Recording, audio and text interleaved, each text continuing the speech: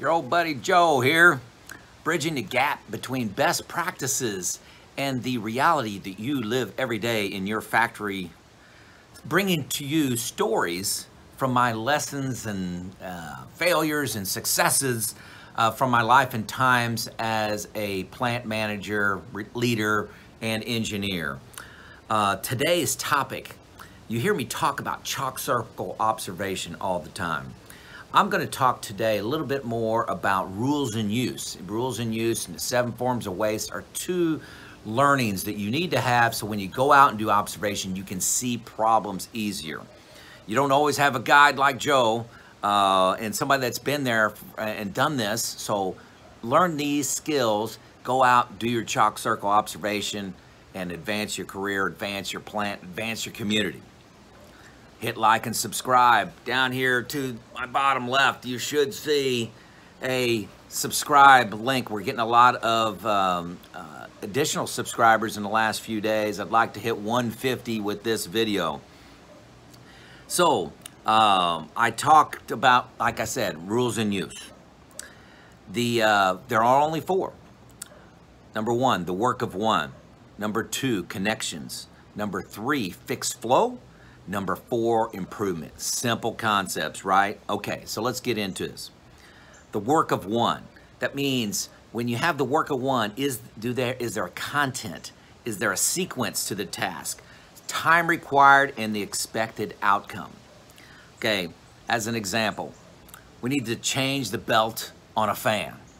Okay, sometimes you get work orders, instructions as a as a craftsperson. It says fan doesn't work, fix it two mechanics, eight hours. The mechanics look at that, they have no idea what's wrong with it. The eight hours, you know, leaves a lot of slop in there. Uh, they don't know their, how they uh, are supposed to coordinate the work. They don't understand uh, how to lock and tag it, where any parts may be located. It really is just like points them in a direction and say, have fun, guys, and which is extremely efficient. That's why a lot of plants are about 15% wrench time. So let's consider an alternative here. Um, fan bait belt 4 is slipping on the sheave.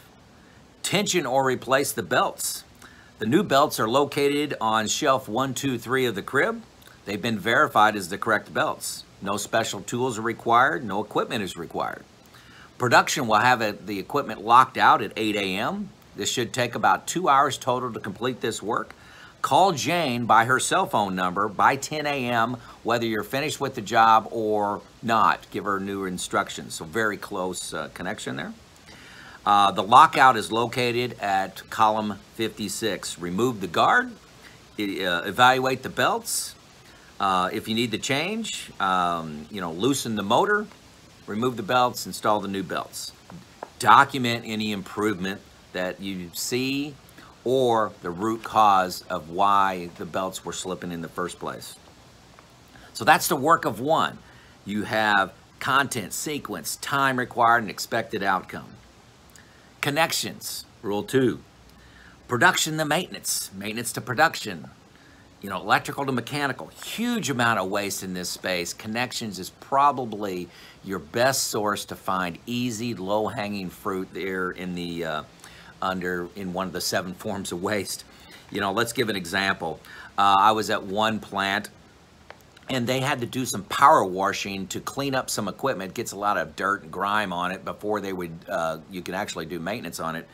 Um, but this power washer had to have an approval to proceed to do their work. Their start time was six o'clock in the morning. The average start term time observed by me uh, was 9 a.m. in the morning. So we wasted three hours in that connection between we have approval to uh, start the work from when they actually started work. So that three hour gap, low hanging fruit, easy to get. No, doesn't cost anything.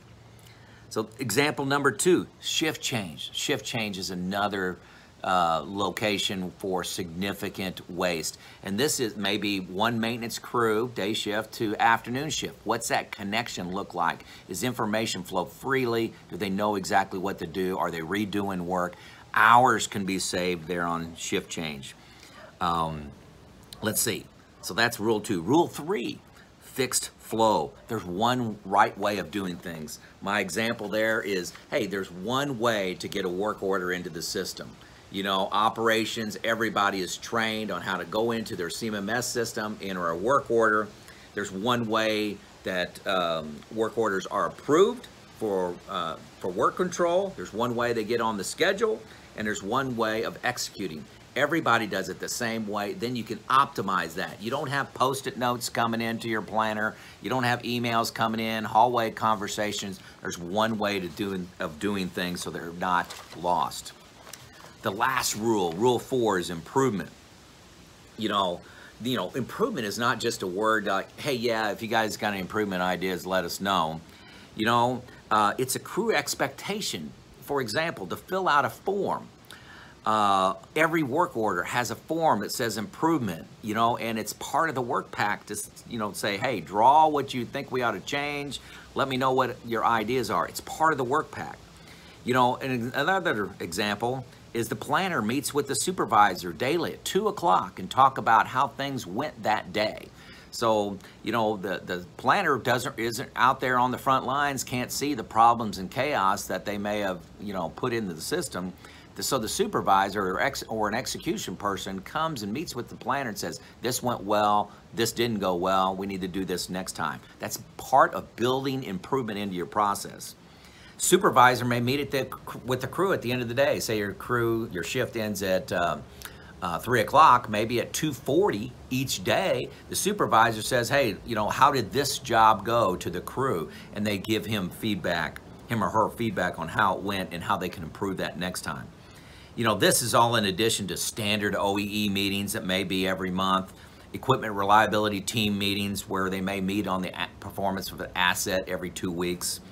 Um, and of a five why Wednesday. You know, one of the things I really liked at one of my plants is is the supervisor held a five why Wednesday. So met with the entire crew and said, okay, let's talk about one job that was executed last week or in the last couple days, and, and let's talk about how we can do it better or, or what the root cause of the issue was to begin with. 5Y Wednesday. So what's your process of improvement?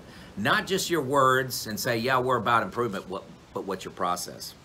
So those are four simple rules coupled with the seven forms of waste can greatly uh, uh, enhance your ability to see problems and opportunity in the workplace.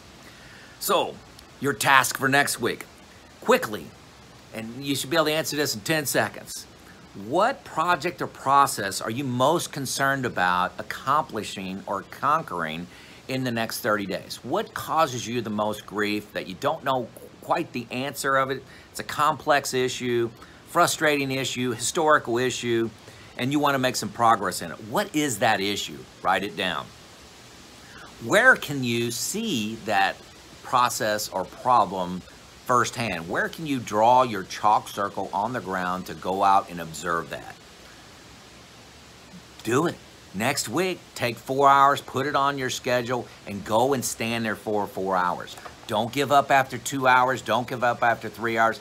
I'm telling you, you'll come away feeling extremely powerful from the low-hanging fruit, the easy problems you find by applying seven forms of waste and your newly understood uh, rules in use, the work of one, connections, fixed flow, and improvement. Again, lastly, begin your journey. This stuff isn't that hard. This isn't, you know, this isn't splitting the atom, folks. You know, you can get free pointers on my videos. I love that. You can also send me comments in this uh, uh, on this you know YouTube channel or, or on LinkedIn, whatever you're wherever you're getting this from. You get free pointers from me. Send me an email. I, I answer about 15, 20 emails a day. I'd like to help you for free.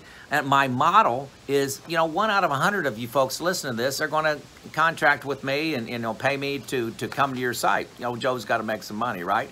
But 99 out of a 100 folks, I'm just trying to help and, and uh, grow the uh, industry and, and make you guys more effective you know, I promise you, I, if you use me, I can shave years off your deployment. I've done this before. I've done it at multiple plants. I've done it at my plants. I know the problems that you're going to run into. I'm rarely surprised. I've been doing this for 32 years. Hit like and subscribe. Thank you.